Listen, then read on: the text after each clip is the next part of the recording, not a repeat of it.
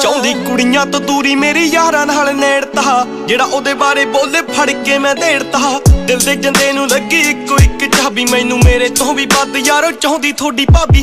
ਬਾਪੂ ਦਾ ਖਿਆਲ ਰੱਖੇ ਬੇਬੇ ਦਾ ਖਿਆਲ। ਕਹਿੰਦੇ ਜੂੰ ਤੇਰੇ ਨਾਲ ਜੱਟਾ ਮਰੂ ਤੇਰੇ ਨਾਲ। ਕਰੇ ਭਾਈ ਦੀ ਇੱਜ਼ਤ ਗੱਲ ਦੇਖਣੀ ਆ ਮੋੜ ਕੇ। ਫੈਵੀਕੋਲ ਵਾਂਗੂ ਰੱਖੇ ਫੈਮਿਲੀ ਨੂੰ ਜੋੜ ਕੇ। ਫੈਵੀਕੋਲ ਵਾਂਗੂ ਰੱਖੇ ਫੈਮਿਲੀ ਨੂੰ ਜੋੜ ਕੇ। ਫੈਵੀਕੋਲ ਵਾਂਗੂ ਰੱਖੇ ਫੈਮਿਲੀ ਨੂੰ ਜੋੜ ਕੇ। ਕਾਫੀ ਤੇਰੇ ਨਾਲ